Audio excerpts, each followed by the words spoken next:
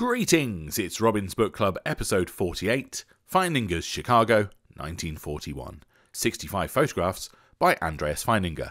Well, they've rather given the game away with that full description on the front page, but we are back with Andreas Feininger. We've done two videos on him before, and I will link those, you know, wherever it is that you're supposed to uh, link the videos. I think he's probably is he a bit forgotten these days? I don't know. I think he's an, an underappreciated genius, let's put it that way.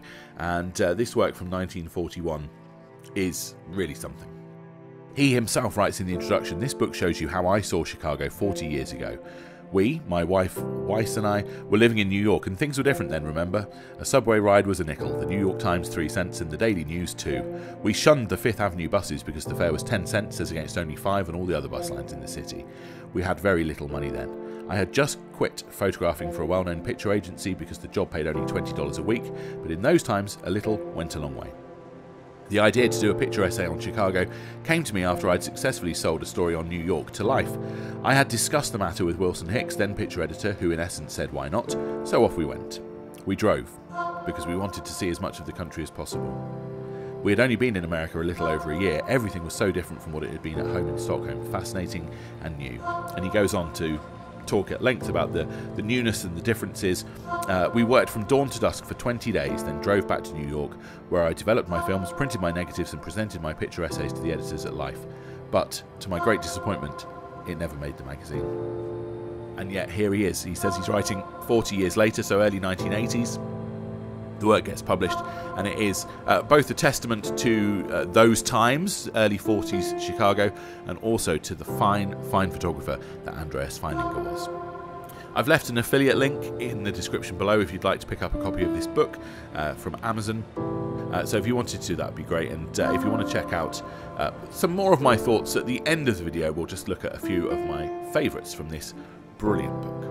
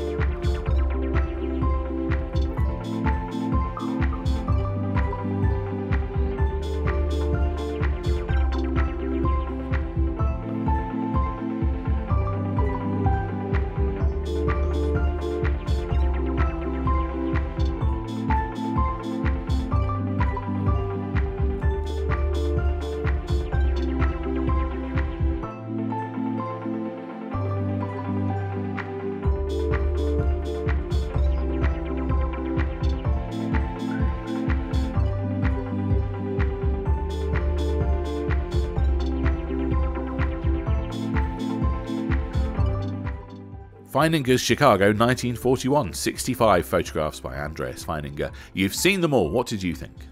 I just love him. I think he's absolutely fantastic.